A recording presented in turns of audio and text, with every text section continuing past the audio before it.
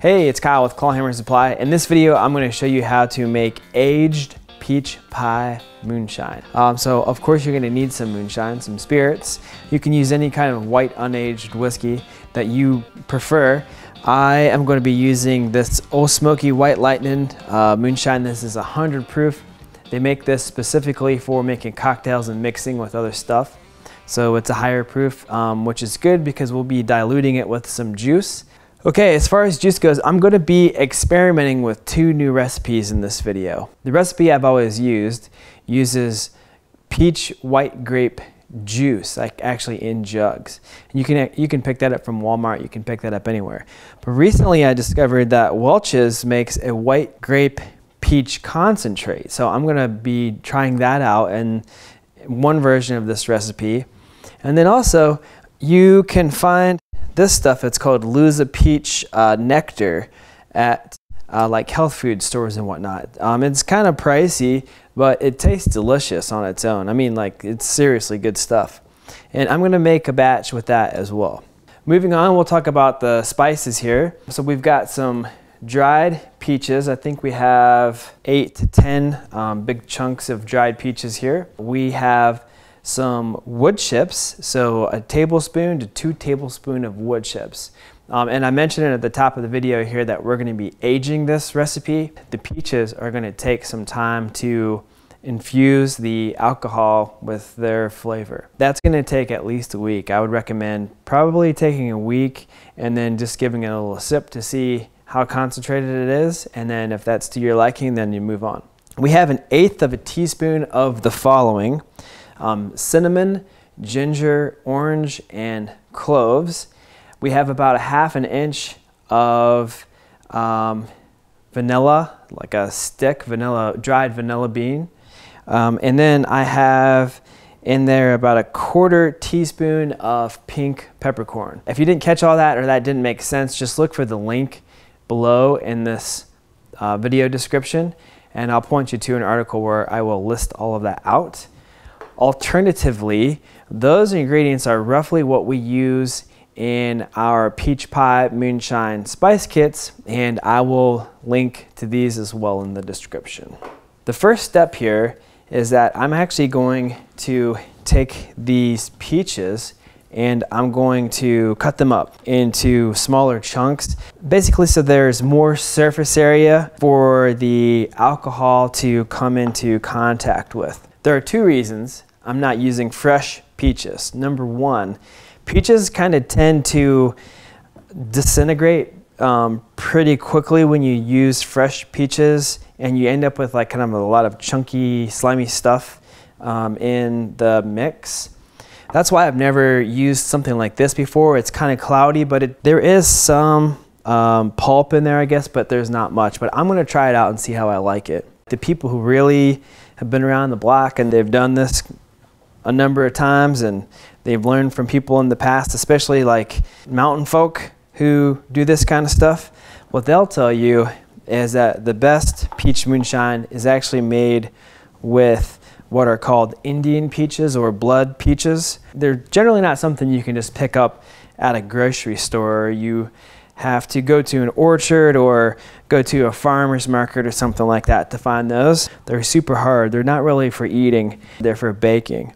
They look blood red on the inside.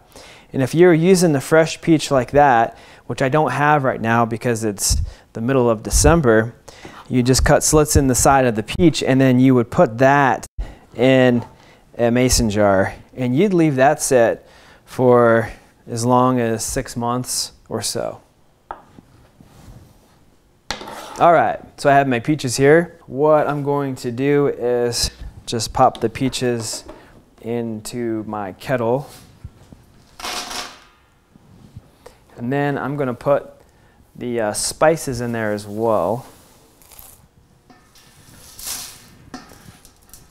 All right, next I'm going to add the moonshine. And like I said, I'm experimenting here in this recipe. So I'm going to make this uh, batch a bit bigger than I normally do just to see if I can extend the spices a little bit, make a bit bigger of a batch without diluting the flavors too much.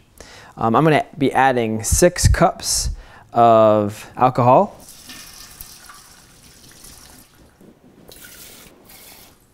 All right, I'm gonna pop a lid on this and I'm gonna leave this sit for about one week and then we'll come back and we'll wrap this up.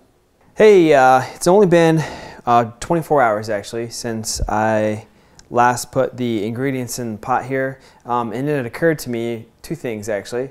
Um, one, I don't want to leave the alcohol in this container for a week, despite the fact that it has a lid on it. I'm worried that too much is going to evaporate out of it. And two, I made a mistake when I added the ingredients. Um, I should have used a muslin bag for the wood chips and the spices. That's what I normally do. One of these guys right here. Um, I did not do that. That's okay, that's fine. This is gonna be just a test run for, for new recipe styles anyway.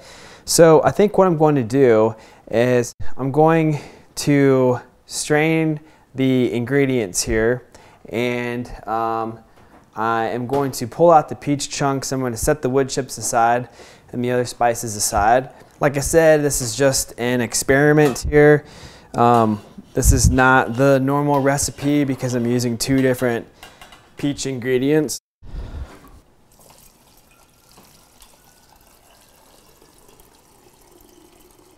I ain't worried about it. What is going to be kind of a pain though is uh, pulling the peaches out of this strainer and not the other ingredients.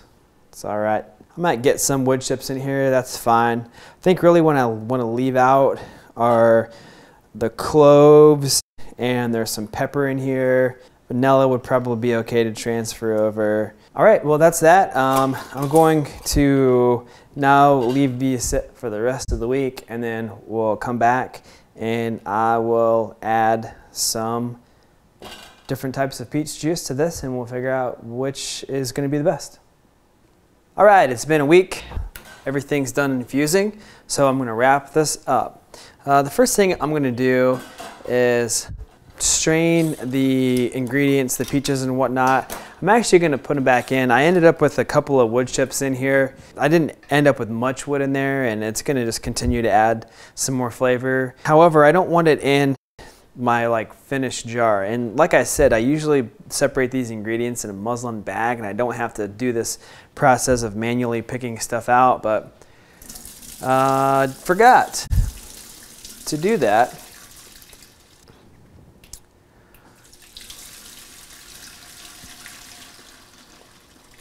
So we're gonna pick through this one last time and just get these last few wood chips out of here. I do want the peaches in the jar. They'll continue to provide flavor and you know they're not gonna make anything bitter um, or you know like overly oaky or anything like the other ingredients might. So they're a nice addition.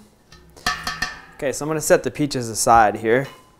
Generally, this much alcohol makes about three mason jars of finished product, six cups. I'm making two different kinds, uh, so I'm not really sure how I'm to, what I'm to do. I, I know one's to be all one type of juice and one's the other.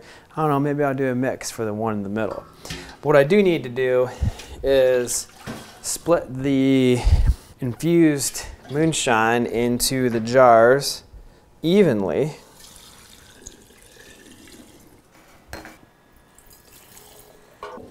Oh, got a wood chip in there. A little bit in that one, a little bit in that one.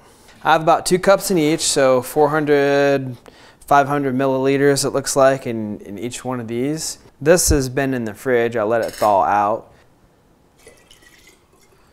So I'm gonna top this off for the most part. I'm gonna leave some room to add some peaches back in.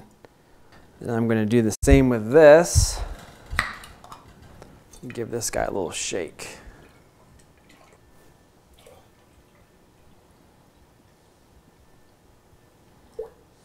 All right, I'm gonna set this guy aside and uh, I'll figure out what I wanna do with that here in a second. Just give both of these guys a little shake. One's strong.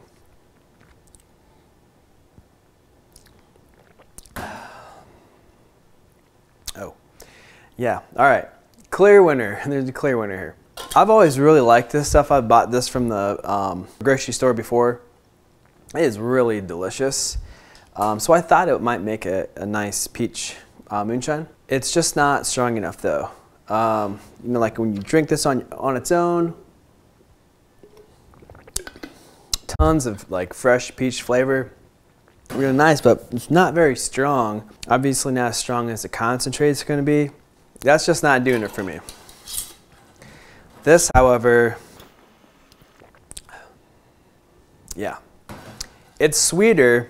It's on the sweeter side, but it, the peach really comes through as well. Um, and with this recipe, what I generally do is I will toss the peaches back in here and I'll leave these set even longer. Like I'll leave them set another few weeks before actually drinking them and the peach just continues to infuse into the alcohol. This is definitely something that gets better with age up to a point. Um, obviously you want to keep it refrigerated, but at this stage, this is way better than this is. So what I'll do with this last jar, I think, is um, I'll do like a 50-50 mix of this and the uh, peach nectar. Do a good, good amount of that. Probably two thirds of the can, I'd say. And then I'll top it off with this. And then I'll add the peach back to all of these.